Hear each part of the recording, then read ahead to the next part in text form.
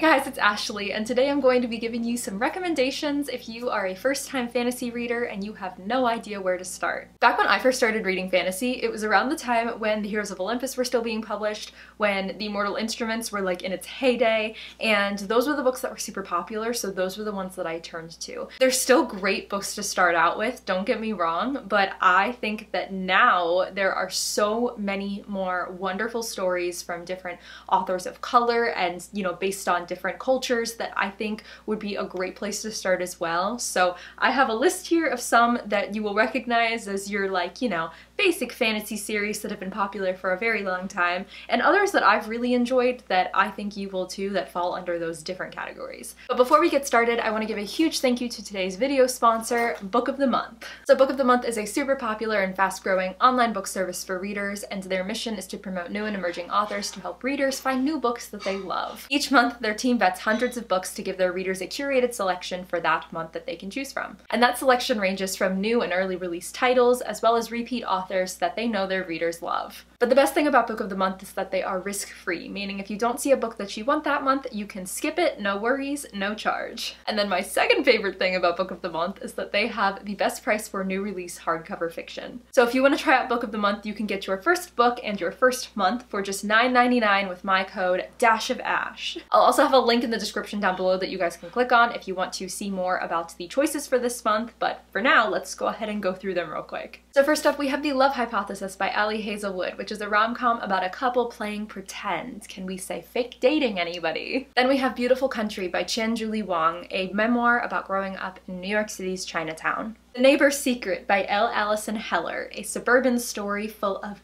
juicy secrets clearly. then we have The Sweetest Remedy by Jane Igharo, which is the story of a girl who meets the family that she never knew in Nigeria after her father dies. And then we have Rock, Paper, Scissors by Alice Feeney, which is a twisty tale about an anniversary trip gone wrong. So those are the five books that Book of the Month has chosen for September, and these are the five that you can choose from this month. So if any of these sound interesting to you and you want to learn more about their awesome service, go ahead and check out the link in my description down below, and remember to use my code Dash of Ash to get your first book and month for just $9.99. Thank you so much once again to Book of the Month for sponsoring today's video and supporting me and my work. And now without further ado, let's go ahead and get into the video. So there are so many places that you can start as a new fantasy reader, like so many places. The world of fantasy writing has widely opened since, you know, the 10 years ago it was that I started reading it. So there are just so many places that you can start. And this list that I'm going to show you is by far like just a tiny pinprick in the entire world of fantasy reading.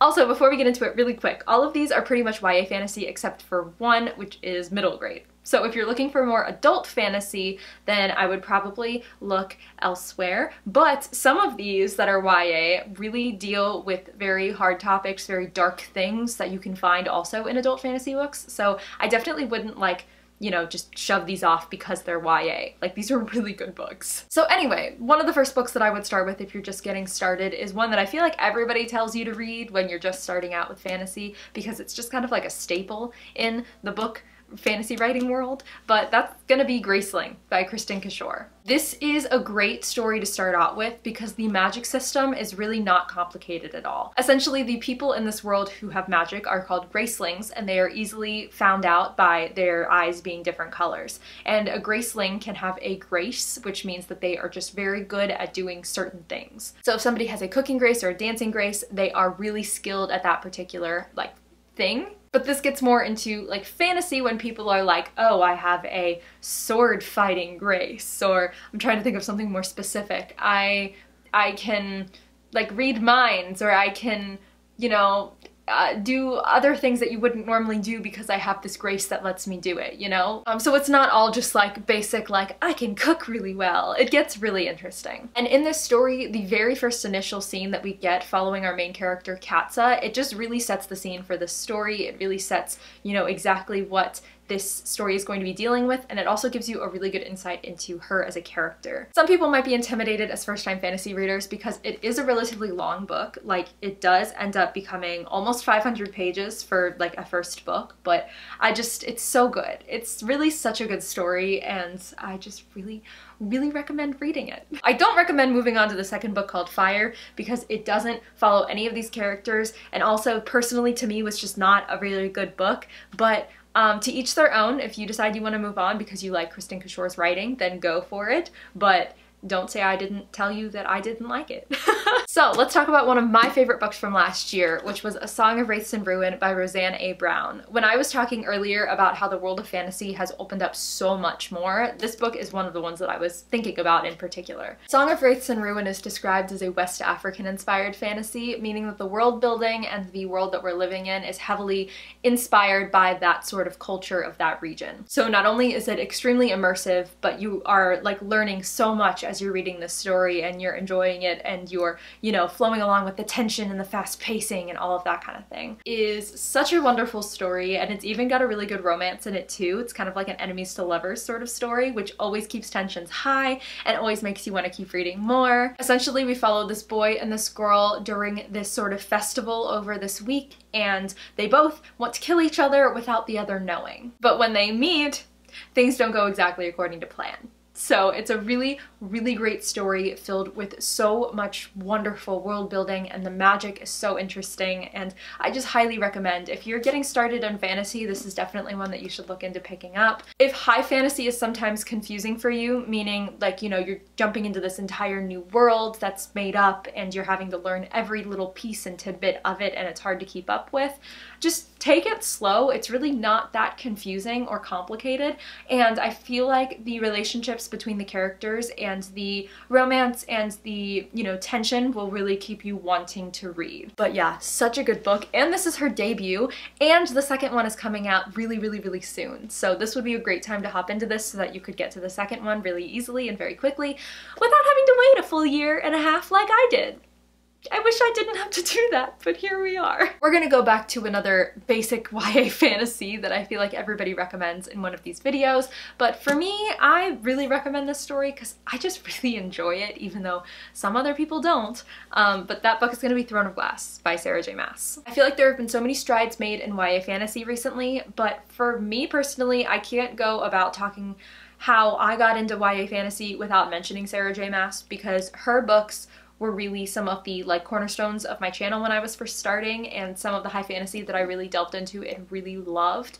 And so I just have to mention it and I have to recommend it because I really, really enjoy this story. Celaena as a character, she's very polarizing in some ways, but in others you can really root for her it's kind of confusing, but it's true. Some people really like her as a main character like I do, and some people absolutely cannot stand her because she's annoying and pompous and arrogant and gets on everybody's nerves, which I also understand. But I feel like her journey throughout the first book toward, you know, the latter books is just it's so good. It's so good and I was totally not expecting it and all of the other characters as well, I love them and I don't, the books just get so much better and so much more fast paced and you know, just so much more like like war. War is happening. Yes, this is a very large fantasy series. The story does consist of like seven or eight books.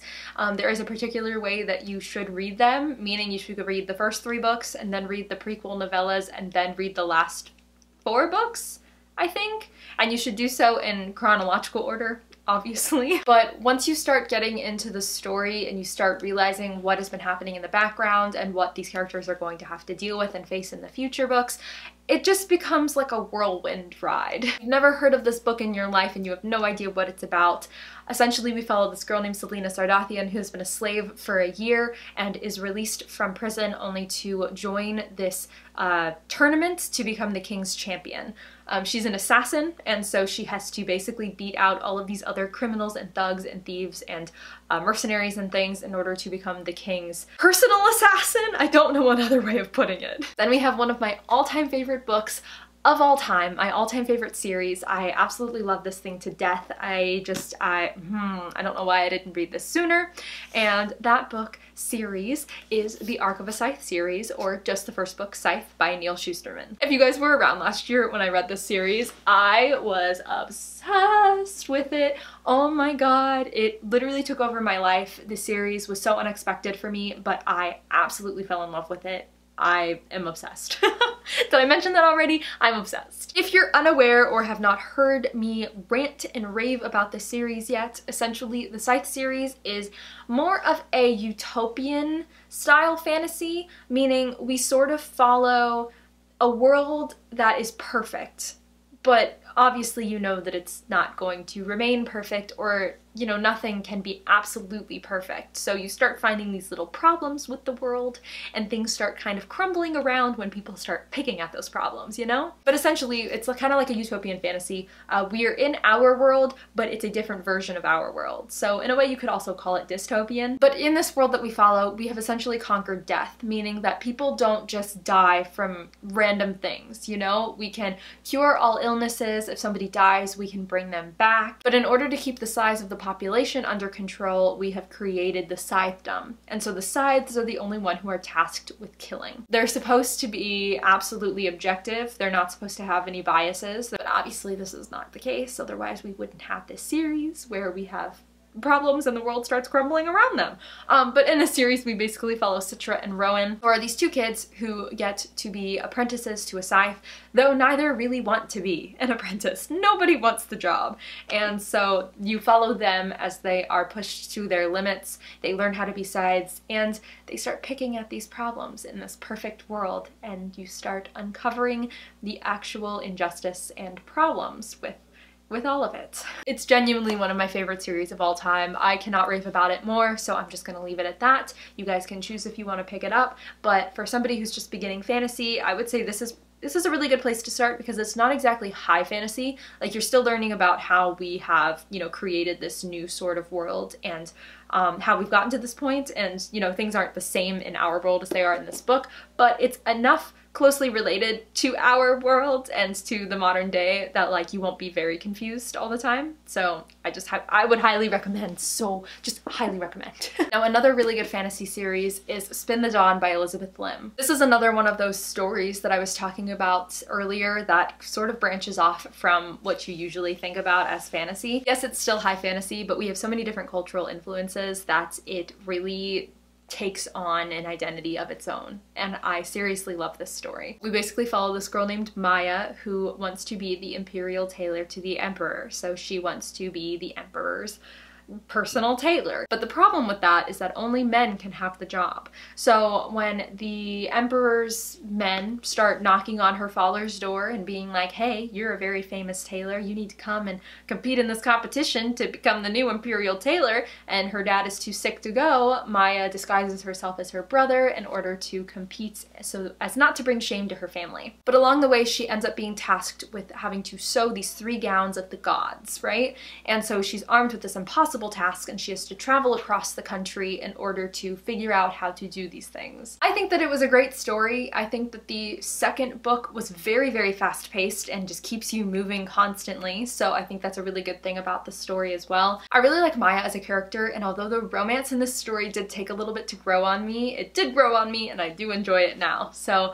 um, I think that the story is just really fun. It's really cool and I really like the aspect of involving a lot of sewing and um, tailoring into a fantasy story because I haven't seen that before. Um, sewing and tailoring makes up a large part of um, why she can do some of the things that she can and how she does them and I just really like that. And so if you want something a bit more wacky and zany and something that is a bit more out of the comfort zone than the books that I'm showing you right now, then I would highly, highly, highly recommend picking up Nevermoor by Jessica Townsend. This is sort of a Alice in Wonderland-esque high fantasy in a way, but it's also a middle grade series. So with middle grade, it's much easier to understand and to pick up um, because it's meant for children. But that doesn't mean that it's not as good. It's still so good. There are so many things in this story that I was not expecting. So much of like a whirlwind journey. You know, this book series is supposed to be long and have so many things happen and I'm so so so excited for the upcoming books because the first three books have already been released. The sort of first arc of the series has finished and then when going into book four that should be coming out hopefully soon um, we'll start a whole new journey in this story. So I think now is a great time to pick up this series if you are interested. And if you're looking for something that's just really fun really quirky and totally different from your usual YA fantasy. This story is essentially about this girl named Morrigan Crow who is the unluckiest girl in the world because she was born on the unluckiest day of the year. And so unlucky children like that who are called cursed children and end up actually dying on their 11th or 12th birthday, I believe it is. And so on that day when she is supposed to die, um, this man called Jupiter North comes in and whisks her off to Nevermoor. Nevermoor is this crazy, wacky world that I've already, you know, talked a little bit about. Um, and she ends up having to compete in this competition to uh, become a member of the Wundrous Society, which is this thing in this new wacky world, um, in order to stay here so that she doesn't have to go back and essentially die. But more than this just being like a fun you know, wacky story with all of these, you know, interesting characters and, you know, crazy things that happen in this world. This story is really about a girl finding, you know, friends and finding a home that she feels like she belongs in. And um, even the second and the third books where she, you know, has to deal with unimaginable things, um, it's really just about her finding who she is and being okay with it. And I just love it so much. I love it. Read this series if you haven't. I just cannot recommend it enough. Now, the last two books that I have to share with you are ones that I think are just like a bit more advanced than these stories that I already shared. Um, they're the ones that I would say that if you like feel pretty comfortable in the fantasy genre and you're like, yeah, I want to, you know, try something new. I want to try something a bit more, you know, dense in a way, um, then I would recommend these two books right here. The first one that I have is An Ember in the Ashes by Sabaa Tahir. These books are also very large, but they are so, so, so good. It's basically a high fantasy story based off of the Roman Empire. Um, it's very dark at times, very violent. Um, and the world building is uh, it's not too much to handle but it is I would feel like a bit more than some of the other ones that I've already shared. And I also think just because of some of the themes in this story it is a bit more I'm not gonna say advanced but just like like I would say feel comfortable in the fantasy genre and some of the themes that they explore in those books before you pick up this one because if you're not used to like blood and gore and torture then I wouldn't read this one just yet. But in the story we follow this girl named Laia whose brother is arrested for treason and she goes to the rebels for help. They basically say oh we need you to be a spy and so she goes into the Martial Empire right which is the like harsh government of this world and she poses as a slave in order to you know spy on what they're doing. On top of that we follow this boy named elias who is attending the school at the Martial Empire or where Laia is going undercover as um, and he is training to become a mask I can't remember what they're called, but basically like the elite soldiers of this world. And we kind of have this like enemies to lovers romance almost in a way. And we kind of have a million other things that happen including all of the blood and gore and violence and torture that I've already talked about. So there's just there's something about this story that I absolutely love, even though I have yet to be able to finish the entire thing, which still makes me mad. But it's just, it's such a good series. It's really, really a good series. So I would just highly recommend if you're looking for something, you know, the next level up, definitely pick up the series. It's so, so good. And then finally, we have what is probably another staple in everybody's, you know, beginner guide to fantasy videos that they make. Um, but I have to mention it because it's just an incredible series. It's one of my favorites of all time, and it is a sort of borderline YA adult, I would say, but it's definitely for people who um, I've already sort of dipped their toes into fantasy and feel pretty comfortable with high fantasy and are able to kind of like soak up a lot of information because this book will give you a lot of information about this world. But the story that I'm talking about is the Mistborn trilogy by Brandon Sanderson. Again, like I said, I feel like this is such a staple in fantasy reading, especially in, you know, YA reading because this book is possibly classed as that, but I've always considered it toeing the line between young adult and adult because again, it deals with a lot more deeper sometimes darker themes, a lot more heavier things, and a lot more detailed. Like this world is so detailed and the magic system is, you know, completely different from anything that, you know, you've ever read before and there's just so much that goes on in this story and it's it's just it's so good. If you can get into it and understand what's going on and you just fly through it. Even though it's it's big, it's a lot, you just really fly through it. It's so good. The story is essentially about this girl named Vin who is a street urchin. She's been, you know, hiding with this thieving crew and she knows she can do some kind of magic but she hides it because she's not supposed to be able to do it. And then in walks this guy named Kelsier who rescues her from this crew and has her join his own crew in which they are planning to basically overthrow the entire empire. It's somewhat of a heist book and it's somewhat of a found family story in a way and it's just so good all around so, so, so good. So those are the books that I would recommend if you guys are starting out in fantasy, you don't know where to start, or maybe you've already read a couple things and you want some more recommendations there you go. I've absolutely enjoyed every single one of these books that I have mentioned and I would just highly recommend reading them. Read them all so you can understand exactly why I love them so much. If you guys have a fantasy book or series that you think is really great for beginners or you just really love in general, definitely leave your recommendation down below so that other people can read through and get even more ideas. But otherwise, I think that's going to be it for this video. So if you want to follow me on any of my socials, all my handles are in the description. Thank you so much for watching, you guys, and I will catch you later.